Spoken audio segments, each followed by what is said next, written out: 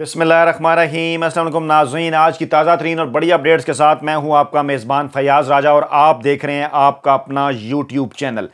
दोस्तों, बड़ी खबर है और बड़ी खबर यह है कि बात अब गंदी वीडियो से बहुत आगे निकल चुकी है। पाकिस्तान में ईद ख़त्म हो गई और सारा पाकिस्तान सड़कों पर है। और इसी दौरान इदारों की जानब से प्लान बी भी सामने आया है। तमाम तर तफसीत इस बड़ी और अहम तरीन वीडियो में आपके सामने रखने जा रहे हैं। दोस्तों, गुजशत चंद दिनों से सोशल मीडिया के ऊपर और इस्लामाबाद के बाखबर हलकों का यह दावा है कि मरियम नवाज़ का एक खसूसी सेल, जो कि गंदी वीडियोस तैयार करने के हवाले से माहिर है उसने धड़ाधड़ अपने उस टारगेट के ऊपर काम शुरू कर रखा है और शुनीद है कि ईद के फ़ौरन बाद, जी हाँ, बिल्कुल अगले बहत्तर घंटों में, क्योंकि ईद खत्म हो चुकी है, इस्लामाबाद में कुछ वीडियोस के हवाले से शोर शराबा है। लेकिन दूसरी जानब जो टेक्निकल माहरीन है, उनका यह दावा है, उनका यह कहना है कि पूरी दुनिया के अंदर ऐसे लोग मौजूद हैं, ऐसे सॉफ्टवेयर मौजूद हैं कि जिनकी मदद से जाली और फेक ऑडियो और वीडियोस दोनों बनाई जा सकती हैं। और इस बात की शुनीद है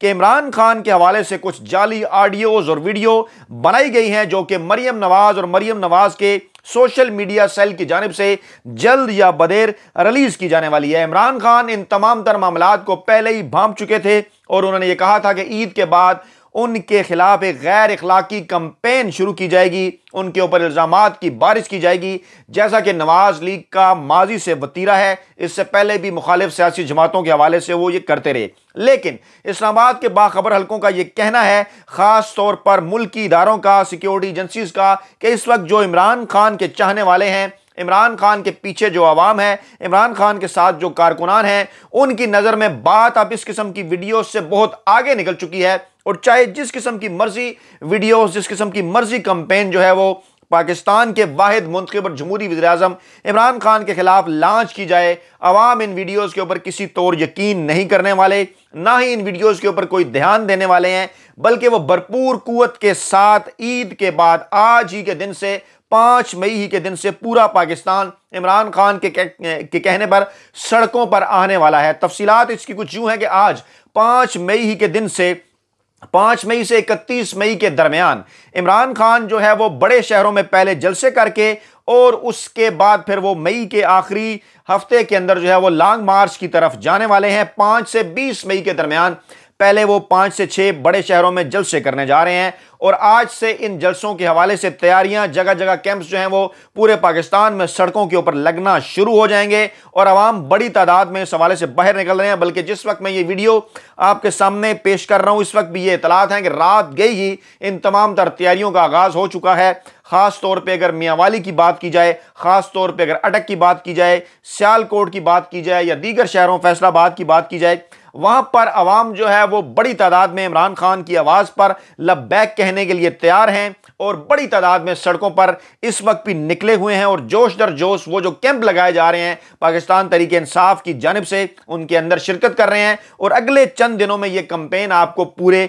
अरूज पर नज़र आएगी। इसी दौरान जनाब खबर सामने आई कि इदारों का एक प्लान बी है, वो आपके सामने रखते हैं। मामला कुछ यूँ है जनाब के ये बाज इस्लामाबाद के बाज राय की जानब से यह दावा किया गया है कि जूँ जूँ इमरान खान की जानब से मौजूदा इम्पोर्टेड हुकूमत के ऊपर प्रेशर बढ़ाया जा रहा है, उसके नतीजे के अंदर, इदारों के अंदर एक सेकेंड थाट पैदा हो चुका है और इदारों के अंदर मौजूद अहम तरीन जराए का यह दावा है कि हुकूमत जो मौजूदा इम्पोर्टेड है, उसको भी ये कहा जा रहा है कि वो फिल फोर जितनी जल्दी मुमकिन हो सके, वो इलेक्शन के अंदर जाएँ। क्योंकि खुफिया एजेंसीज की रिपोर्ट्स के मुताबिक मुल्क के अंदर जिस किस्म के हालात पैदा होने वाले हैं, आवाम जितनी बड़ी तादाद में इमरान खान की आवाज़ पर लबैक कहते हुए निकलने वाले हैं, उसको संभालना जो है वो आवाम के लिए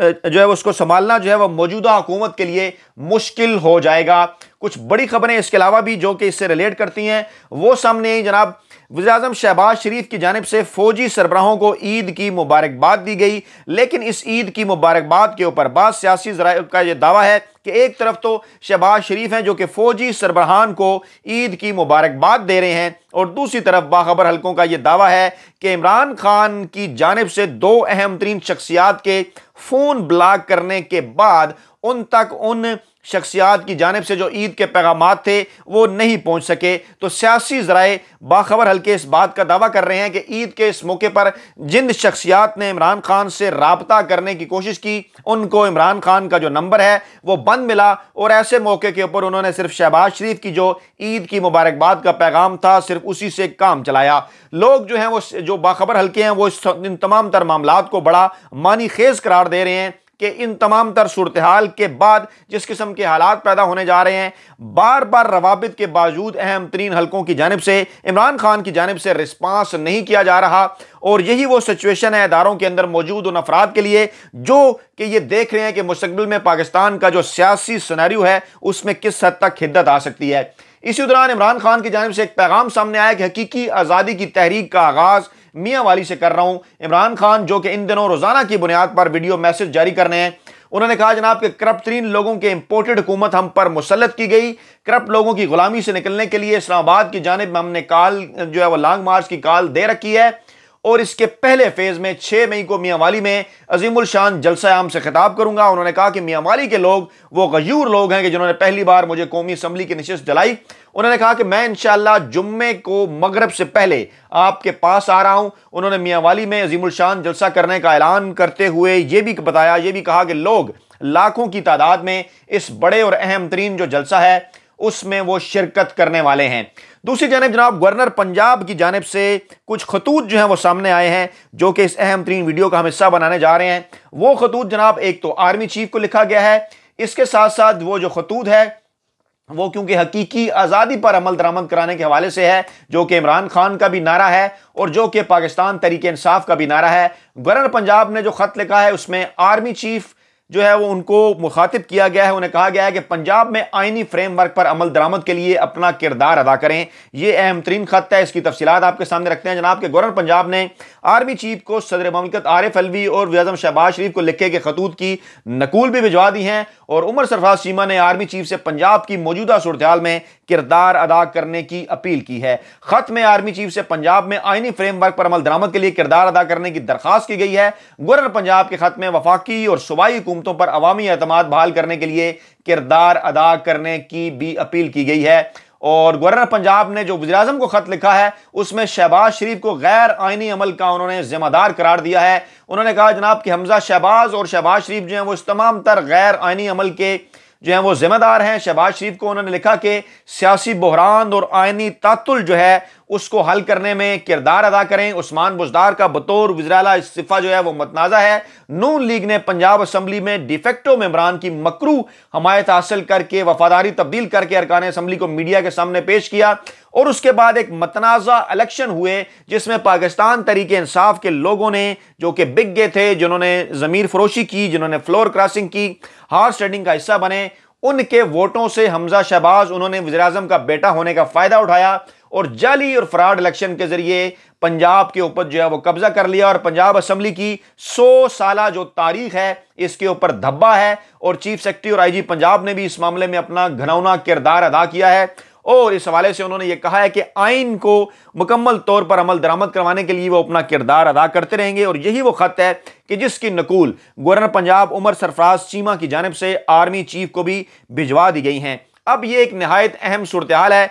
इस सूरत हाल के अंदर लोग प्लान बी की बात करते नज़र आ रहे हैं। इदारों का प्लान बी इस तमाम तर दबाव के बाद वो ये है कि बजट पेश करने के बाद जो मौजूदा इंपोर्टेड हुकूमत है, उसको घर भिजवाया जाए और उसके बाद मुल्क के अंदर छः माह के लिए एक निगरान सेटअप जिसको कौमी हुकूमत का नाम भी दिया जा रहा है और जिसमें यह ऑफ़र की गई है। पाकिस्तान तरीके इंसाफ के लोगों को भी शामिल करने की और यह कहा जा रहा है कि तहरीक इंसाफ के साथ उन्होंने मुजाकर का डोल डालने के लिए यह ऑफ़र किया है कि छह माह की इस कौमी हुकूमत में पाकिस्तान तहरीक इंसाफ भी अपना हिस्सा डाले क्योंकि पाकिस्तान तरीके इंसाफ की जानब से वाजह तौर पर यह कहा जा चुका है कि मौजूदा हुकूमत को कि, कि, किसी किस्म की वो जो इंतबी असलाहत हैं, उसको वो नहीं मानते। चीफ इलेक्शन कमिश्नर जो है, वो घर जाएँ, मुल्क में फिर फोर इलेक्शन कराए जाएँ। तो इस तरह से पाकिस्तान तरीके इंसाफ को मुजाकर का डोल डालते हुए ये ऑफ़र की गई इदारों के अंदर मौजूद बाज अहम जराए की जानब से कि वो छः माह के लिए कौमी हुकूमत का हिस्सा बने, पाकिस्तान तरीके इंसाफ भी। और ये जो कौमी हुकूमत है, ये मुल्क में इंतबी असलाहत कराए जुलाई के महीने से लेकर दिसंबर के महीने तक, और उसके बाद फिर